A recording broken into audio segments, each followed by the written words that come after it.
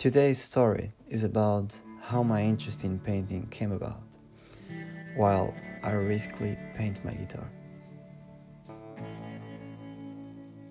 When I was like 16, yeah, I went to uh, I went to film school. Um, it's called in Portugal professional course, which is pretty much instead of the high school, you specialize in something. And I want to specialize in film because I love films, you know. But then something happened.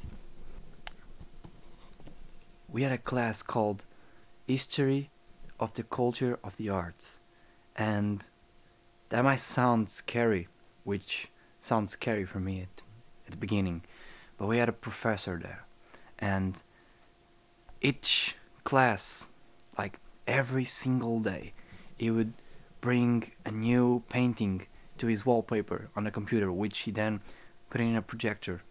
And on the wallpaper of the desktop, there's a painting. But he will never, never, never talk about the painting.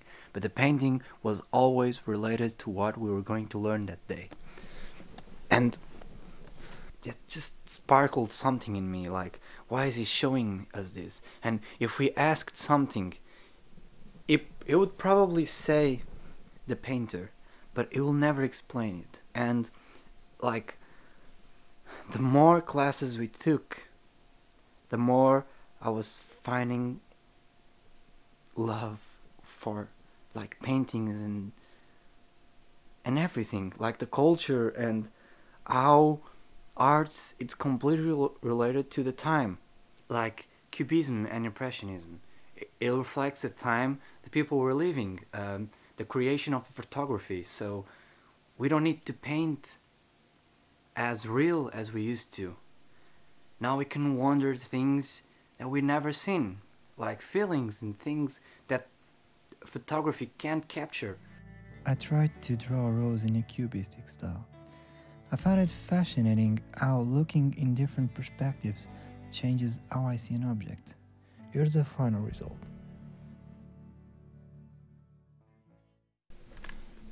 Um, okay. I think we have a slight problem, but no fun without problems. So, I'm trying to picture how the hell I'm going to draw this, but um, it's going to be quite a challenge. My phone stopped recording out of nowhere, and my pen kept failing over and over again. For a brief time, I really thought I had to go straight to paint, but I managed to find a solution and I was able to succeed. I don't use this guitar very often, this one, because I have a new one which is way better. This one was very cheap. It was my first guitar, and I remember I worked like catching piers. Um, in Portugal, we do that in the summer, and I worked just to buy this guitar.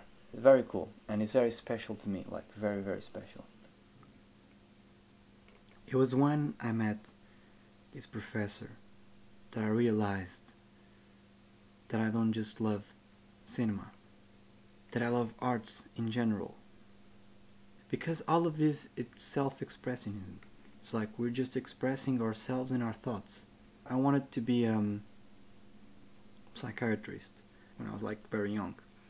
And when I watched movies, I realized that I could tell someone something through the movies and they don't have the barrier because whenever you talk to someone you have like a bubble that protects yourself. But whenever you're watching a movie or listening to music you're vulnerable.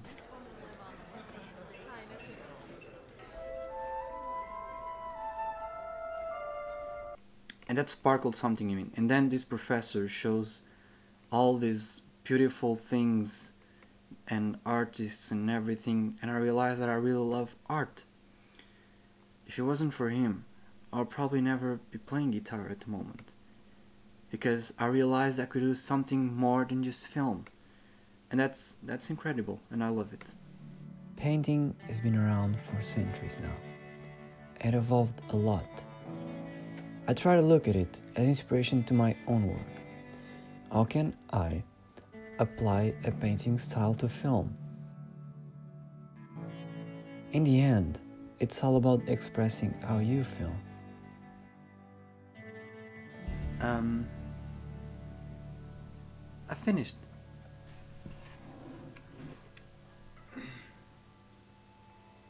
I like it.